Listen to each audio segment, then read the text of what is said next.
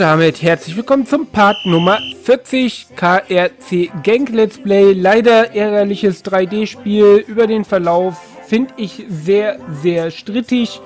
Der Shiri wird wahrscheinlich hier wieder als hervorragend bezeichnet, aber da ist Buggy. Da, wenn Shiri Fehler macht, wird das hier eh nie berücksichtigt. Das ärgert mich einfach so. Wir hätten fünf Punkte Vorsprung haben können und wir haben auch in dem Spiel deutlich dominiert. Wo kriegen wir es? Kriegen wir es irgendwo? Ach so, hier direkt Schüsse 15. 15 und die haben nur 1 auf 2 aufs Tor gebracht und damit direkt das Tor gemacht. Durch so einen Freistoß, der nicht unbedingt ein Freistoß war. Ich glaube, klar, wird das, äh, dieser, diese Grätsche wird oft abgepfiffen, aber ganz ehrlich, dann vergleicht das mit den Grätschen in der ersten Halbzeit gegen Pascal Groß und vor allen Dingen guckt euch die letzte Aktion des Spiels an. Ja, da wird mein Spieler, Kastagne war es, glaube ich, eindeutig umge umgeboxt, mit dem, mit dem Arm umgeboxt. Und dann kriegen die abseits gepfiffen und kriegen Freistoß. Das ist doch lächerlich. Wo wir eigentlich Freistoß kurz vor dem 16er kriegen müssen. Der wäre wahrscheinlich auch nicht reingegangen. Aber es ist ja erstmal egal. Es ist einfach so kacke, wenn du durch wenige Fehlentscheidungen vom Schiri dann um die verdienten drei Punkte gebracht wirst. Dafür bin ich zu ehrgeizig. Das ist bitter.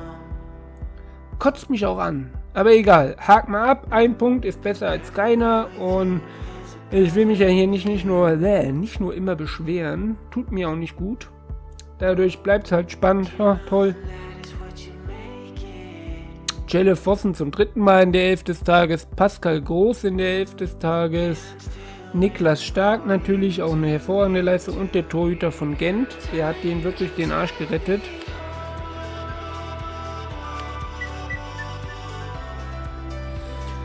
Ach Mann, ey. Das ist so unverdient. Das gibt es gar nicht. Die holen Espinosa ablösefrei. Alter Schwede, der ist gar nicht so schlecht. Aber er hat kein Talent. Ich glaube, der hat gerade nur einen Talentstern gehabt. Kann das sein? So tell me what you're waiting for.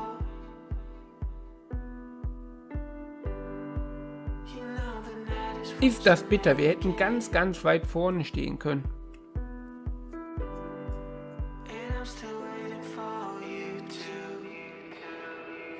Hm. So, wir machen jetzt bis zum Januar auf jeden Fall. Und dann ist die Aufnahmesession zu Ende. War eine gute Aufnahmesession, auch wenn das Ende jetzt so semi-bitter ist. Dominik Solanke wird zum Newcomer des Jahres. Er ist von uns ausgeliehen. Genau wie Salalen, genau wie Lee. Stark gehört uns selber. Suat Serda ist von uns ausgeliehen. Und Fosu Mensa ist von uns ausgeliehen. Das heißt, von den 10 Spielern auf dieser Liste sind 9 von uns. Und jetzt sagt nochmal, ich würde schlecht transferieren. Bitte. So, Senkrechtstarter der Saison, Hani Mukta, Dinaya und Ndidi. Warum taucht hier Ndidi auf? Achso, ja, hier zählen alle mit rein. Nicht nur ein Newcomer. Aber dass wir dem auch nochmal so viel stärker gemacht haben, ist auch gut. Trainingszentrum wurde erhöht. Wir müssen aber mal hier das Bauhof ein bisschen, damit das alles schneller geht. Das mit dem Ausbau ist mir immer alles viel zu langsam.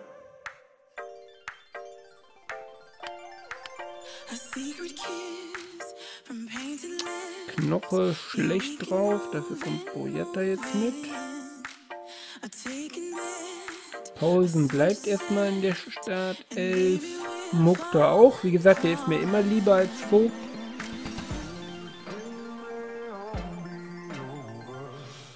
So, mit Sieve Schrivers müssen wir uns was überlegen. Ist unter der Woche, da gibt es keine Spielergespräche, deswegen gehen wir direkt rein ins Spiel. Gar nicht lange drum reden, der Part wird wahrscheinlich noch lang genug, wenn wir den Anfang vom Januar noch mitmachen. Den ersten Tag zumindest. So, Sofortberechnung, zack. Wir werden nicht verlieren. 1 zu 0 Leon Bailey. Ah, Konate kann es ja nicht machen, weil er auf der Bank sitzt. Paulsen mit dem 2 zu 0. Vorlage Bailey. Beim ersten hat Maximilian Philipp aufgelegt, der jetzt wirklich auch stark durchstartet. Den haben wir also gut aufgepäppelt. Ich hatte da schon meine Bedenken. Ich meine, ich wollte ihn auch in der letzten Aufnahmesession fast schon wieder verkaufen. Kann das sein? weil ich nicht ganz wusste, wie wir ihn einsetzen sollen. So, Mukta mit einer nicht ganz so guten Partie, aber es ist alles halb so tragisch. Und dann geben wir noch, wem geben wir noch Spielpraxis? Konate kommt wieder rein, vielleicht macht er ja noch eins. Gelb sieht er auf jeden Fall. Aber ein Tor macht er nicht mehr. Schade. So, die anderen Ergebnisse. Brügge gewinnt 3 zu 0, Standard Lüttich gewinnt 3 zu 2 gegen Anderlecht.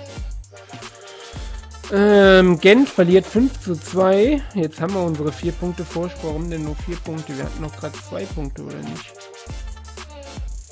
Achso, weil Brügge davor gegangen. Okay, ja, jetzt verstehe ich das. Macht Sinn. Keli, Kado, Lemali, Didi. Und das war's von uns. Schwach. So, das geht wieder nach oben.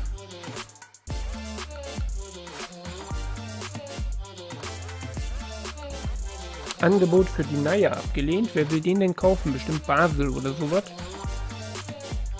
Oder tatsächlich die Bundesliga.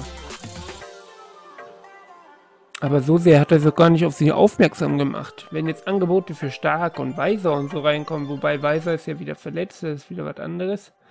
Aber ihr wisst, glaube ich, was ich meine. Oder Konate, irgendwie sowas. So, Durchschnittspunktzahl haben wir leider nicht ganz so gut gefruchtet. Warum das denn? Wir sind Erster und waren zumindest in der Relegation auch super drauf. Den braucht man nicht. Palermo und United sage ich mal ab. Beliebtheit. Blackburn Rovers, die Engländer wollen die Naya wieder haben.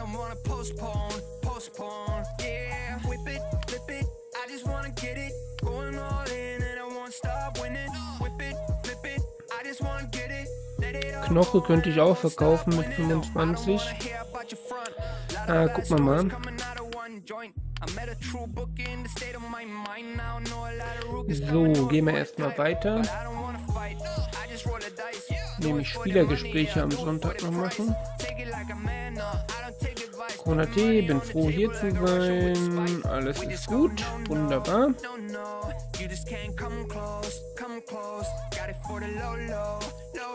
So, wir, ich wollte schon sagen, wir können noch gar keinen Montag haben.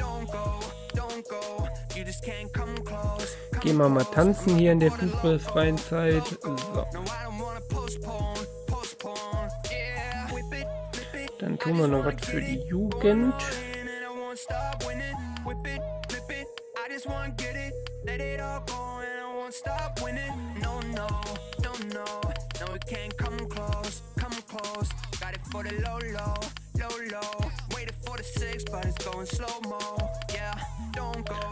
Kusurela ist in den Marktwerten auch nochmal gut nach oben gegangen.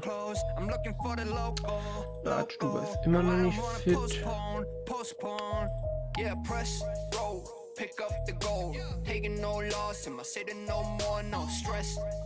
Können wir stark noch nicht mal sagen, Glückwunsch zum ersten Tor. Was ist das denn? Kusurela immer noch im Form hoch, das ist überragend. Ja, was machen wir jetzt mit Vogt?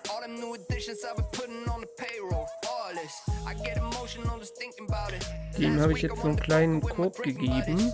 Mal gucken, was damit passiert.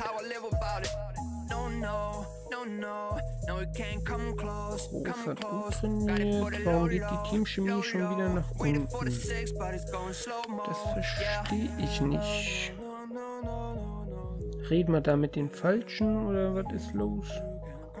Ja, die Naya, für dich müssen wir uns auch noch was überlegen. Ich hätte da schon eine Lösung, aber die ging bisher noch nicht. Hatte ich ja schon mal angesprochen. So, Hanimuk, da können wir nicht reden. Verbisst hat nicht viel gespielt. Kunti.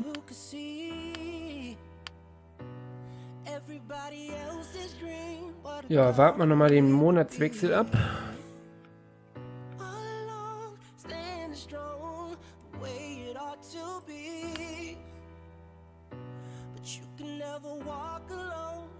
Wir werden auf jeden Fall Transfergewinn machen. Gehe ich fest von aus. Wir haben ja noch ein paar auf der Beobachtungsliste. Die werde ich auch versuchen zu holen. Zumindest die meisten, wenn sie denn günstig zu haben sind. Und ansonsten wird es noch ein paar Verkäufe geben. Ich weiß, es ist aktuell schwierig wieder mit den Verkäufen, weil wir gerade einen Lauf haben und dann könnte sich die Teamchemie wieder so krass verschieben, dass der Lauf endet. Aber das Risiko gehe ich jetzt einfach ein. Ich will meine Mannschaft nochmal den letzten Schliff geben, ein bisschen verjüngern, obwohl sie nicht wirklich alt ist. Wir haben keinen, der 28 ist. Mit 26 sind, glaube ich, unsere Ältesten, aber trotzdem. Ihr wisst ja, wie gern ich hier auf die Jugend setze. Und wir müssen uns ja noch Stück für Stück weiterentwickeln, noch ein paar edle Filigrantechniker holen. Spieler mit Zukunft. Nicht so, ohne ihm jetzt was Böses zu wollen, wie Kevin Vogt. Der spielt bei Hoffenheim in echt eine mega Saison, aber halt als Innenverteidiger, Schrägstrich, manchmal sogar Libero. Mukta lädt sogar zum Essen ein, also der wird zum krassen Teamplayer. Das ist ja der Wahnsinn.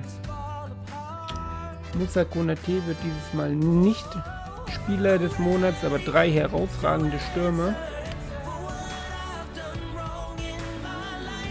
Bartstuber und Weiser brauchen noch einen knappen Monat, um fit zu werden. Das ist so bitter.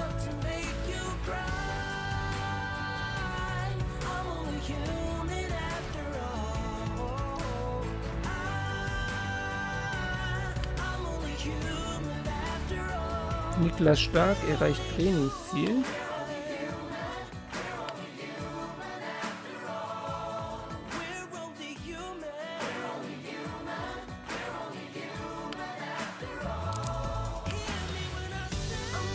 Die Maus hakt immer noch ab und an. Keine Ahnung, was da wieder los ist.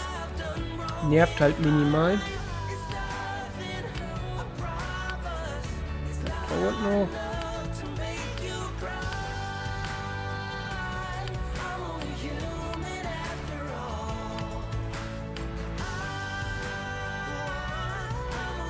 So, mit den Gesprächen warten wir noch ein Tätchen.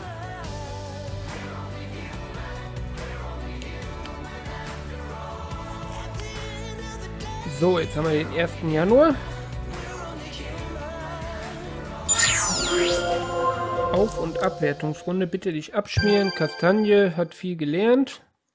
Didi Rummel um seine Person. Dafür kann ich nichts. Das ist so schrecklich. Bailey geht berghoch. Das ist gut. Boyetta geht nur Konstanz nach oben. Genauso wie bei Pascal Groß. Als Joker gut. Plus 4 Torriecher kann nicht schaden. Kardinale enorm stark. Birahinho, internationale Erfahrung. Kevin Vogt als Joker gut. Die Naya geht steil. Mukta, Wahnsinn. Wahnsinn. Weiser gut, stark müsste auch nach oben gehen. Jawohl. Kufurela hat gespielt. So, im Jugendbereich.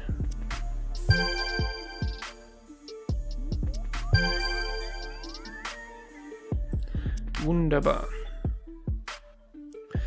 So, dann wollen wir mal gucken, was wir jetzt machen, Freunde.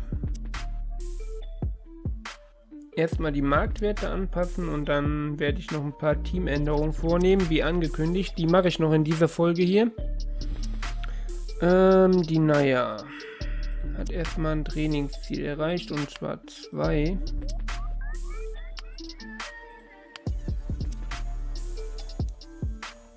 Hier haben wir eins mit 72, ansonsten ist 68 eine gute Basis, glaube ich. So, Hauptsponsor unterstützt Verpflichtung von Pedro. Den können wir auf der Pressekonferenz vorstellen, genauso wie Bertrand Traoré. Kardinale erreicht Trainingsziel. Auch hier zwei Trainingsziele direkt.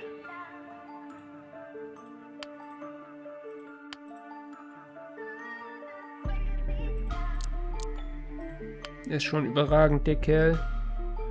Stark haben wir den schon gemacht. Den haben wir gemacht. Nee, haben wir nicht. 17. 74, 73.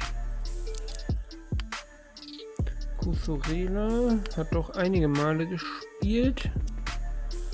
War auch so nicht eingeplant.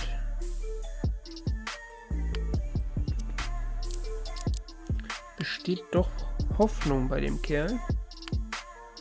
Jetzt muss ich erstmal gucken, ob das überhaupt alles so möglich ist, wie ich mir das gerne vorstelle. Mit den Verkäufen, ob ich alle verkaufen kann, weil ja viele doch erst den Vertrag verlängert hatten. So, Niklas Stark ist auf jeden Fall explodiert. In der zweiten Mannschaft haben wir keine Spieler mehr. Ähm, zum Verkauf würde ich gern anbieten. Sadi Birahinho. Zwar ein guter Mann, aber können wir noch nicht zum Verkauf angeben.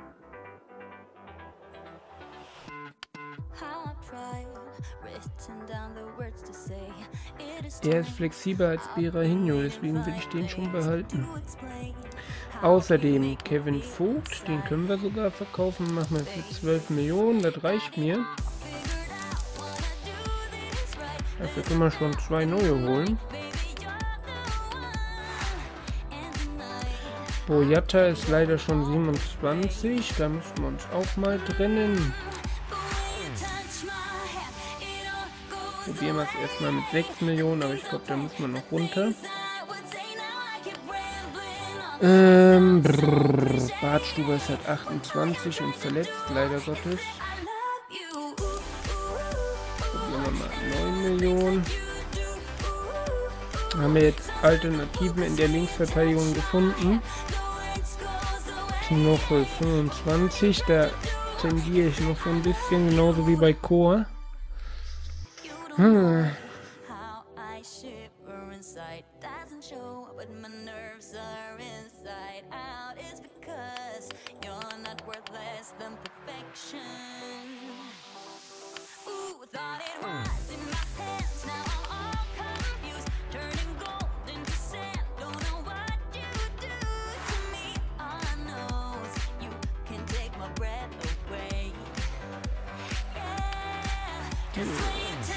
Okay.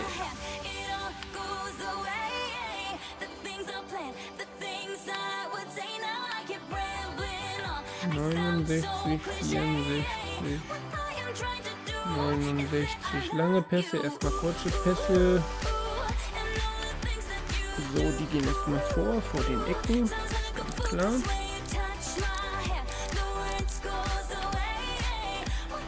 So, ciao Pedro. Erstmal so als Einwechselspieler für Mukta oder halt Groß, der nicht mehr der Jüngste ist. Und auf Dauer, weil er noch halt jünger ist, kann er Stammspieler werden. Hat keine so schlechten Werte. Wie gesagt, in der Offensivqualität mangelt es da noch ein bisschen. Aber ich glaube, das kriegen wir auch alles hin.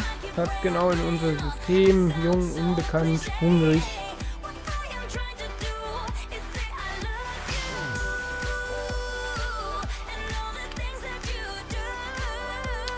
Kann ich Berainho verkaufen. Das ist die Frage.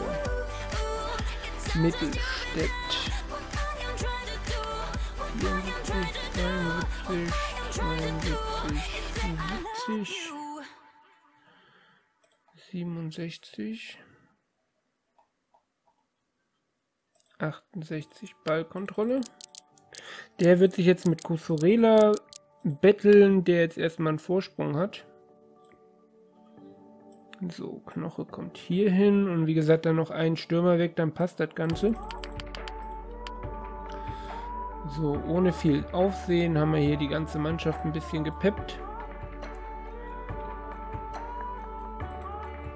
Pascal Groß ist mir noch zu wichtig. Der wird noch nicht gehen. Bartstuber hat Interessenten für 5 Millionen, das ist gut. Kevin Vogt noch nicht für 12. Und Boyata auch noch nicht, da müssen wir noch mal runter. Im Tor Donnarumma. Leider nicht so günstig, deswegen raus. Beso, Innenverteidiger.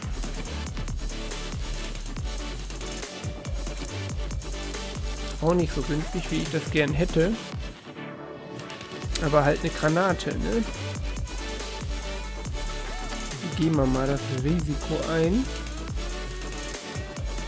Dann Amiri kommt weg. Gaudino kommt weg. Adam mal her, kommt her.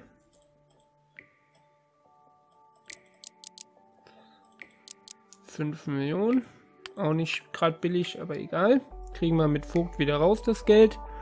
Und mit Bartstuber kriegen wir ja Wezo so und so. Hm, so, und jetzt den jungen perspektivischen Stürmer. Was hat er denn als Rechtsaußen für Qualitäten? Flanken absolut grausig. Ein Rechtsaußen muss schon mal gut flanken können.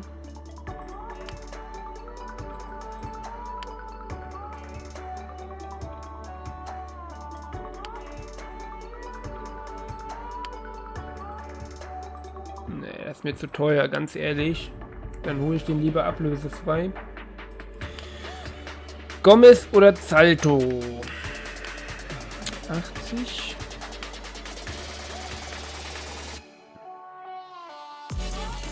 Distanzschütze oder Strafraumstürmer?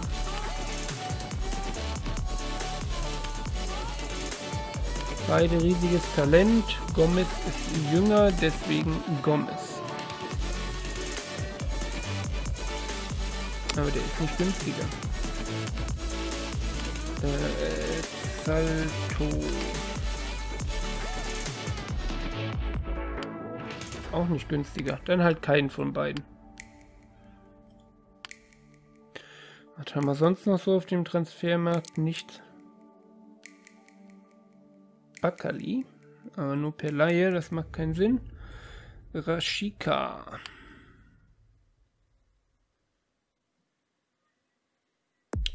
Flanken 79, Torriecher ist ausbaufähig. Könnte ein guter Vorbereiter sein. Ist er günstiger? Ja, er wäre günstiger.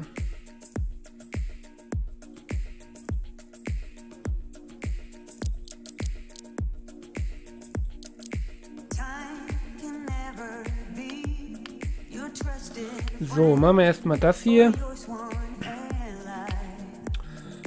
So, dann herzlich willkommen Mittelstädt, herzlich willkommen Traoré und herzlich willkommen Pedro.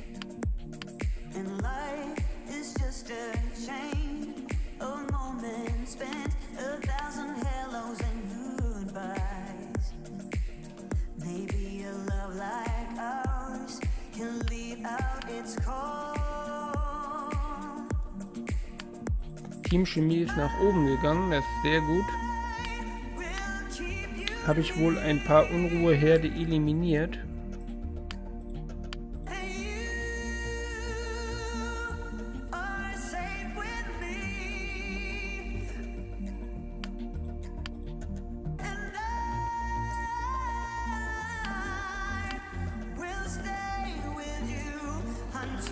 So.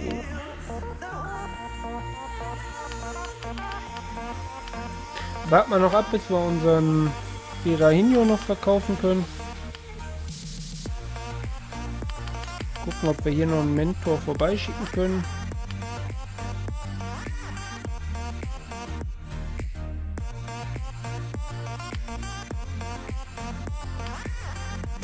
Was lernt der gerade? Mann, was mache ich denn jetzt hier? Rechts außen lernt der. Warum kommt man eben den Guten nicht hinschicken? Er hier lernt, glaube ich, den links außen, ne? Da haben wir immer noch keinen Mentor für.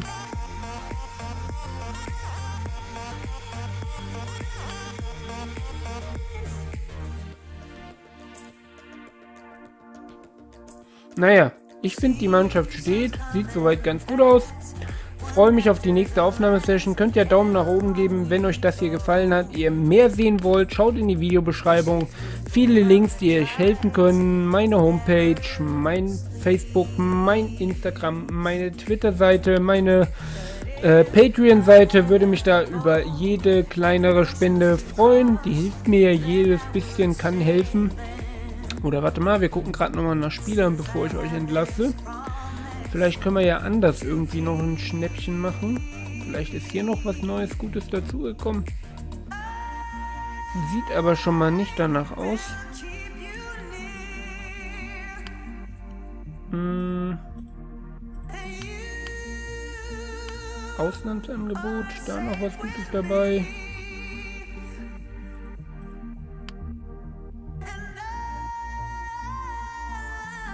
Adrian für 8 Millionen ist mir zu riskant. Der Rest passt nicht. Da wird wohl generell nichts dabei sein und hier auch eher weniger. Weil die Ausstiegsklauseln alle nicht greifen. Den kennen wir ja bestens. Moses Simon, das Talent. Leider nicht. Nuri, Luan, auch unser Ex-Spieler Aib, wieder zurück zu Liverpool gegangen. Dennis Zakaria.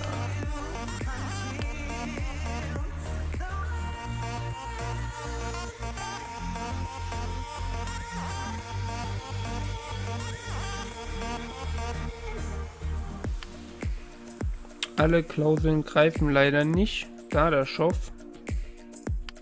Was hat der für eine Klausel? Alter Finne. Bei Abstieg darf er gehen.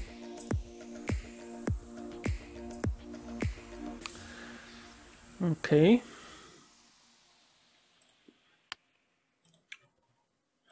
Dann gucken wir mal so nach günstigen Spielern. Oh. Ich hält.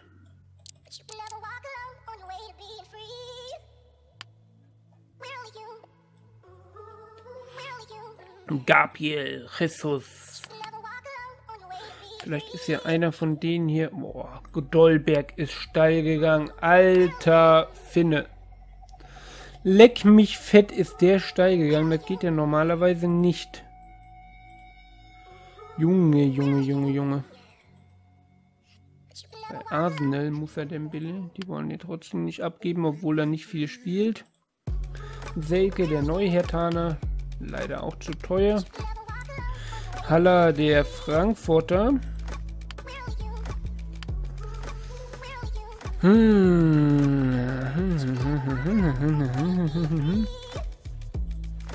Da ist keiner dabei. Offensives Mittelfeld.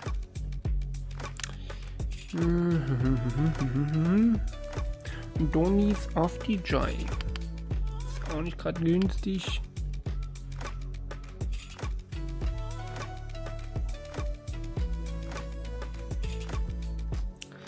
Taliska. 45 Millionen Klausel. Weißt du Bescheid, ne? So, links außen Lemar, Balde, Geherme, Pulisic. Auch zu teuer. Serge Knabri stagniert ein bisschen bei Bremen. Ein Tepp Dip, dip, dip. Wir gucken nur durch, nicht in Panik verfallen. Václav Czerny, auch nicht wirklich steil gegangen, im Gegensatz zu Kaspar Dollberg. Ansonsten bin ich hier nicht dabei, dass mich hier spontan überzeugt, dafür Kohle auszugeben. Und was haben wir denn auf rechts außen?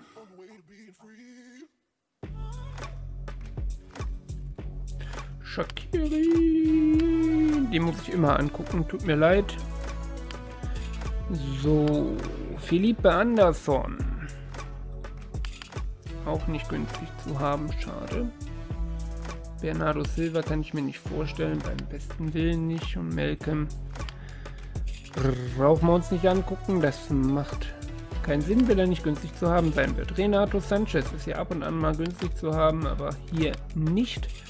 Leon Goretzka leider Gottes auch nicht. Mittlerweile bei City. Nabi Keita.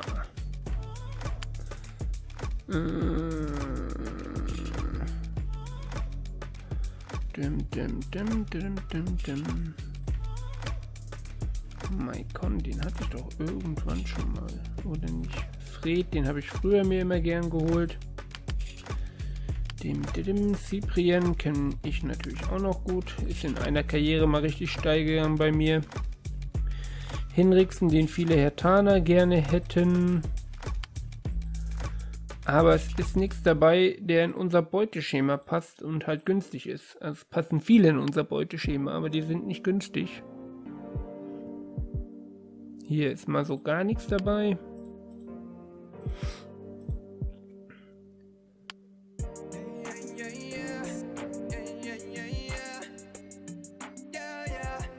Passlack noch, aber der wird nicht günstig sein.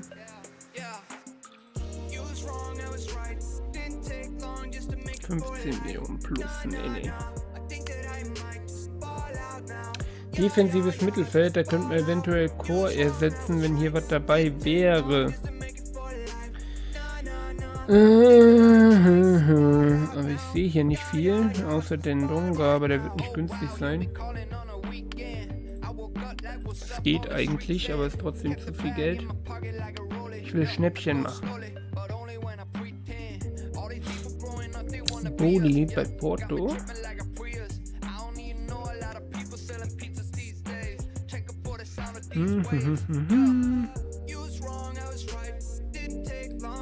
Baumgartel. Eihahn. 1860. Die haben gut eingekauft scheinbar. Hier bringt der äh, Investor was bei 1860. In echt ja eher so nicht. Hier der eventuelle Neuhertaner Kerim Herekik.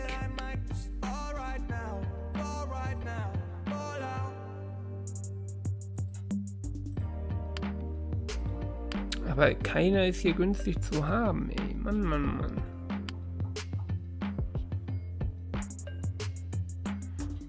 Schade, schade. Lindelöf, der neue United-Verteidiger.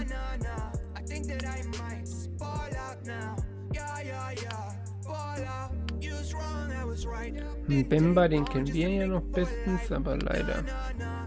Davinson Sanchez. Äh, auch zu teuer. Mann. Mach doch mal ein Schnäppchen hier für mich. Bailey vielleicht. Der kommt bei United nicht zum Zug, aber ich glaube, der ist trotzdem nicht günstig. Kann ich mir nicht vorstellen, dass... Doch, der ist günstig. Ui.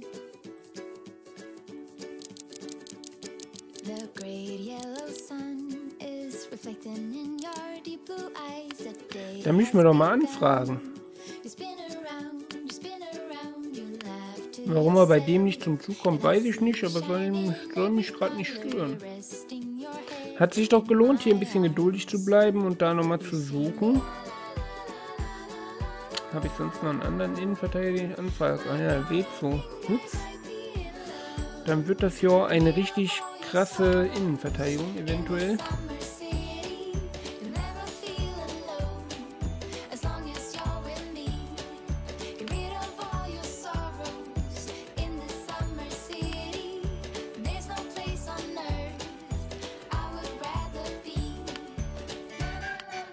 fröhliche Musik.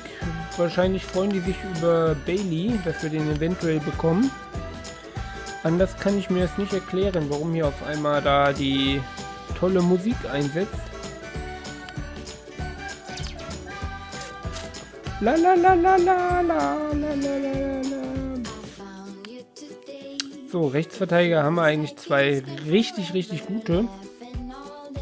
Aber ihr wisst ja, ich bin immer auf der Suche nach Neuem. Man sollte die Augen niemals geschlossen halten. Wenn sich da was anbietet, dann muss man dazu schlagen. La la la la la. La la la la la la la.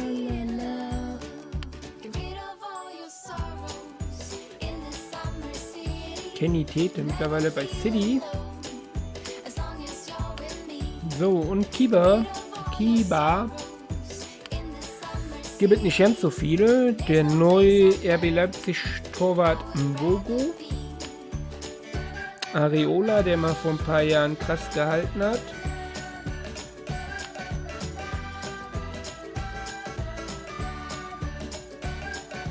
und der Garius, der aber nicht günstig sein wird. Von daher lassen wir das. Haben wir immerhin Bailey nochmal bekommen. Und ich kann nochmal sagen, danke fürs Zuschauen. Wenn es euch gefallen hat, Daumen nach oben geben, Kommentare schreiben mit euren Wunschspielern. Welche Transfers sollen wir machen? Seid ihr zufrieden mit unserer Saison? Seid ihr zufrieden mit mir? Habt ihr Verbesserungsvorschläge? Immer gern her damit. Ansonsten danke für eure Unterstützung. Wir sehen uns im nächsten Mal wieder. Vergesst nicht, die Videobeschreibung durchzugucken. Wie gesagt, viele wichtige Links mein Patreon-Link, meine Homepage, da gerne mal vorbeischauen, nachdem ich sie neu gestaltet habe. Ich würde mich freuen. Bis dann, ciao, ciao, euer Heelfakti.